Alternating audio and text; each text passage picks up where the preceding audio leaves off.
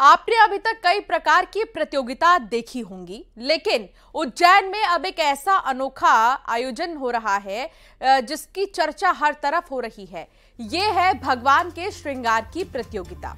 महाकालेश्वर मंदिर प्रबंध समिति ने इस प्रतियोगिता का आयोजन किया, जिसमें श्रृंगार आधारित फ़ोटो, वीडियो आमंत्रित किए गए।